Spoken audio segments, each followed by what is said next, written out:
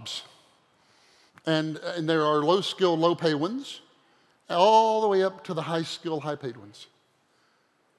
And they say, You're right. Technology's really good at making new jobs up here, like a geneticist. High paying, high skilled jobs. But the bad news is it destroys the jobs down here. Order taker at fast food. And then they ask this question Do you really think that person who just lost their job has the skills to do the job of tomorrow? And the answer is no, not at all.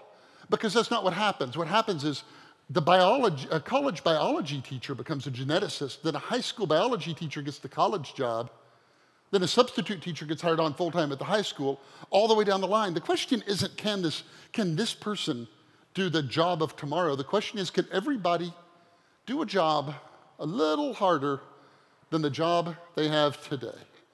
And I think the answer to that is yes. And that's 250 years of economic history of this country. You see, I have spent a fair amount of time trying to figure out what the half life of a job is. And I think it is 50 years. I think every 50 years, half of all jobs go away. For at least 250 years, I think this has been uh, the norm.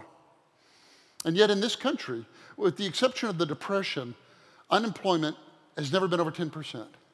How can that be? How can we lose half the jobs every 50 years and never have systemic unemployment? I would even go further to say if, if I gave you 250 years of unemployment data across this wall and I said, uh, find the assembly line on there, find steam, you couldn't. It doesn't even budge because technology makes new jobs at the top, destroys jobs at the bottom, everybody shifts up, rinse and repeat. So, it is true, technology will eliminate jobs, probably 50% of them in the next half century. But the dominant metaphor of the future is definitely not going to be this. It is going to be this.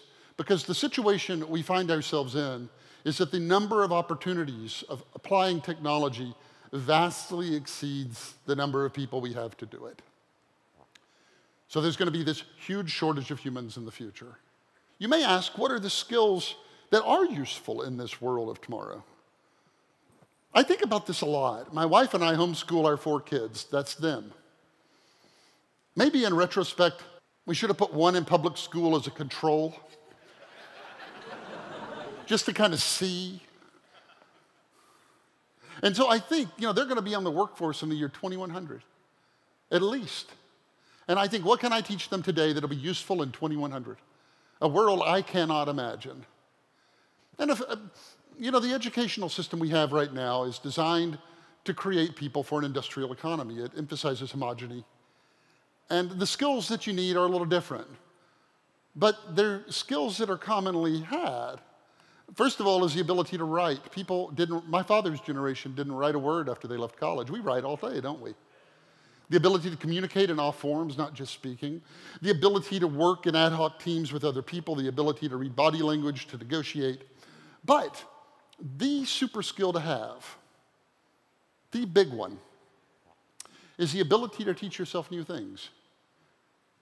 And this is something every human being can do. In fact, I will go further.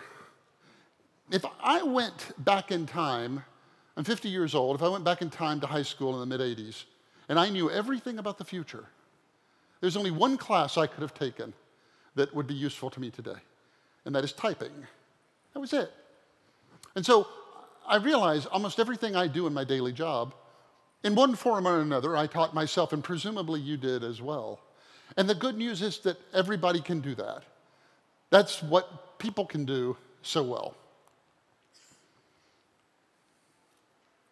It is the vanity of every age to believe they live at the great turning point of all of humanity. That being said, we live at the great turning point of all of humanity. we are the people that are going to build the utopia of tomorrow. We're the ones who will deliver on all of those dreams. And it isn't because we're any better than anybody who came before us. It is that we were fortunate to be born on square 62 of the chessboard, square 63. You know, the history of the human race, there was a time when we were down 75,000 years ago when we were down to 800 mating pairs of humans, give or take. That was it. We were an endangered species by any measure. Nobody would have bet that we would be the ones who came out on top, and yet here we are. And the reason we're here is because we learned a trick. Our bodies are only 100 watts of power, that's it. But we learned about technology and we learned how to multiply that and do more with it. And that has been growing, and we find ourselves, as I said, up there on the top of the chessboard. And when things double, the history of the human race has been one of there's never been enough of the good stuff.